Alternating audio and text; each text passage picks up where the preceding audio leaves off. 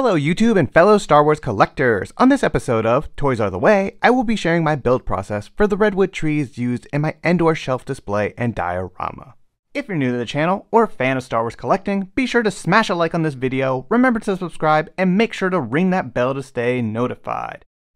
Many of you have asked about these redwood trees that were used in my speeder bike and Endor bunker reviews, and as I continue to build more props for my Return of the Jedi 40th anniversary photos, I thought this would be a great tutorial to share with the community. I am always working towards making simple but super realistic environments for my 118 scale figures, and want to offer these simple world building solutions for other collectors as well. To begin, we'll need a few things to get started. A series of acrylic paints, specifically black, burnt umber, and chromium oxide green, that is used to make my go-to wash color. Additionally, we will need burnt sienna, which will be the main redwood color. We will need some paintbrushes to use with these different color mixtures, as well as a mixing knife, ruler, grout, shipping tubes, moss, modeling foliage, a hot glue gun, and a separate brush to use for dry brushing.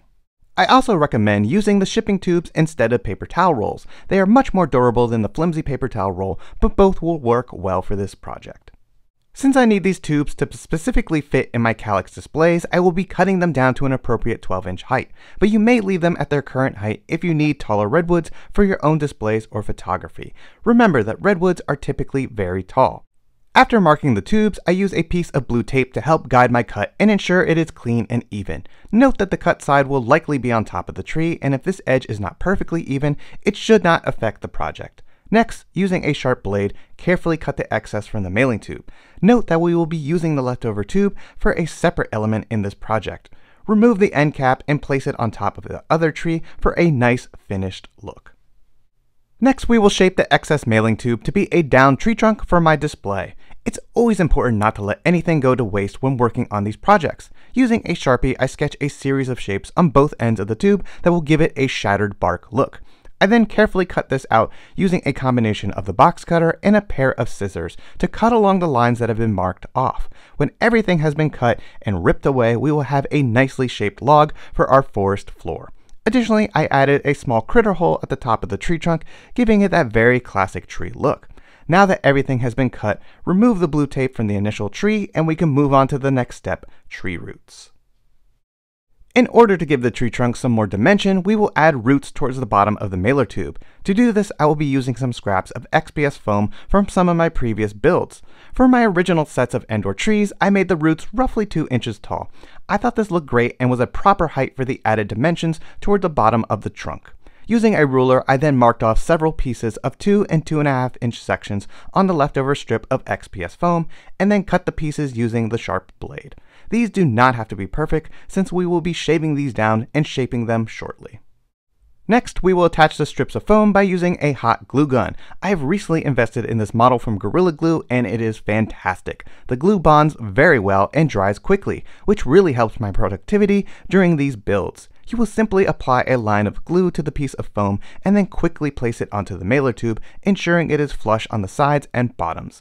If you do not have a glue gun, any other adhesive that is recommended for foam will do, but note it will require some dry time.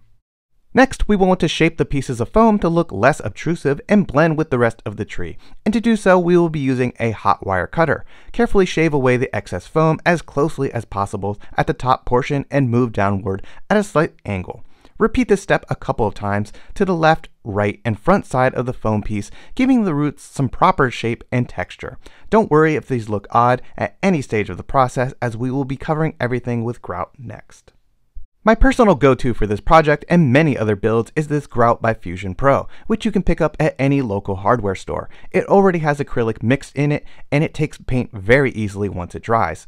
I recommend having a small container of water nearby. The moisture will help smooth out the grout for easy application. But note, you will not want to use too much water. An excess of moisture will require more dry time, and we want to keep the rough appearance of the grout particles.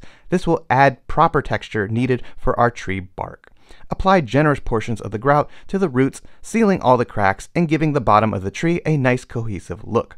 Repeat the same process for the smaller tree trunk, covering the entire tube and the interior as well. Once everything has been covered in grout, we will need to add lines to the redwood bark. A sharp X-Acto blade scores several crooked lines down the entire tree trunk. This is a messy process and some of the grout particles will lift and fall out as the blade scores the tree. I recommend laying something down to catch all the falling debris and make cleaning up easier.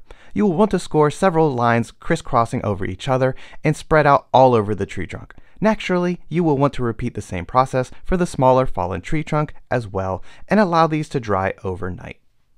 The paint mixture I'll be using is my go-to weathering wash that consists of burnt umber, chromium oxide green, and black acrylic paint. If you're a fan of the channel, you have seen me use this mix in a number of different world building projects.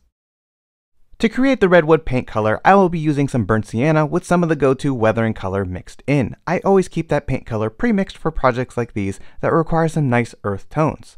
Once the paint is mixed thoroughly, we will need to add a generous portion of water to create our base wash. Using a large brush, spread the wash color covering the entire tree. Add some generous portions of the non-diluted paint mixture and work them into the cracks and hard to reach areas towards the bottom of the tree. Once a few layers of wash and paint have been applied, allow the tree to dry for 30 minutes and repeat the same process to the smaller tree trunk as well. The smaller tree will require the same painting treatment, but we will also need to address the interior as well. Using a small brush, apply generous amounts of the paint color to the hollowed out tree. Note this will not have to be perfect coverage since we will be going back over this with another color later on. After the initial coats of wash have had some time to dry, apply a second coat of the non-diluted paint mixture and work it into the bark. Continue to work your way around the tree, adding paint throughout. Once the second coat is added, you will really start to see the vibrant redwood color come to life, but there is still one last step needed to finish the painting process. Add a dash of chromium green oxide and burnt umber to some black paint and mix it thoroughly. Once mixed, add a generous portion of water to create a nice wash. This will create a rich muddy color that will be used to help accent the redwood bark and blend everything together. Apply the dark muddy color to several areas of the redwood and drag the paint downward using a dry brush method. Using the larger dry brush will not only work the paint in, but it will also spread it evenly, giving the paint a nice subtle appearance. Once the larger tree is finished and has plenty of accents added to the bark, move on to the smaller tree trunk and repeat the same process. You will not only be using this paint color to create the same effects to the bark of the smaller tree, but it will be used for the hollowed out interior as well. This will give the smaller down tree a perfect dead and rotted out look that will really take any Endor diorama to the next level. But of course we will need to add one last finishing touch. To bring everything together and give it that forest moon of Endor look, I am going to be adding some moss and diorama foliage that I got from Amazon. Both the moss collection and DIY miniature shrubs will be linked in the description down below. The diorama foliage is very brittle, and little pieces fall off the block as you tear it apart or simply remove it from the package. But I always gather these bits and pieces for this type of project. Using the hot glue gun, apply a small dab of adhesive to the trunk and quickly sprinkle some of the miniature shrub particles on top. The glue dries very quickly, so you want to be as speedy as possible during this step. If there are any areas where the sprinkling did not cover because the glue dried too quickly, no worries. We will simply apply some more glue and add a piece of moss to bring everything together. I personally like the way that the two different foliage types come together and add some variety to the texture of this build. Using the hot glue gun, apply some more adhesive to the bottom portion of the tree trunk and quickly add a piece of moss to the tree. This nested piece of moss looks great and will really help the trees blend with the forest floor of my diorama and setup. Repeat the same process adding both moss and torn sections from the miniature shrub to different areas of the redwood. I didn't add too many of them, but I really liked how the small strips of miniature shrub looked. They have a vine-like appearance that has a nice Endor look to it. Next, we will be repeating the same process for the smaller down tree, but we will also be adding foliage to the hollowed out interior. Naturally, the lush forest floor of Endor would make a home inside such a tree trunk. Therefore, I wanted to have this down tree full of bushes and moss. Using the hot glue gun, I applied adhesive to several areas of the tree trunk and quickly added torn sections of the miniature shrub and moss. I focused on the tops and underside of the tree, where I felt the forest floor would spring to life.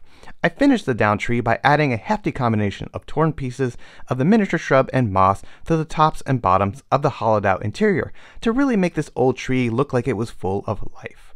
All in all, I think the small redwood turned out great, and it ended up being my favorite part of the build. The amount of texture looks wonderful, and it will certainly be taking my shelf display to the next level. This piece will not only look great in my diorama, but it will also serve as a perfect log for Princess Leia and Wicket to have a seat on just before they are attacked by biker scouts on patrol. Now that all the necessary foliage has been added to the redwoods, we will need to apply one last wash to help take away that vibrance from the bright green mini shrub pieces and help everything blend together nicely. Taking a wet brush that has been dipped into the wash color, lightly dab all the foliage. You will want to apply this light wash carefully so that the sprinkles of moss do not rehydrate and flake off. Once everything has been dirtied up a bit, we can now take a look at the finished product and add these trees to our Endor shelf displays and dioramas. I hope you've enjoyed this video and taking a look at my build process for the redwood trees used in my Endor shelf display and dioramas. Be sure to let me know your thoughts in the comments down below. And don't forget to drop a like on this video and subscribe if you're new to the channel. It really helps and is always greatly appreciated. Thanks everyone and may the force be with you.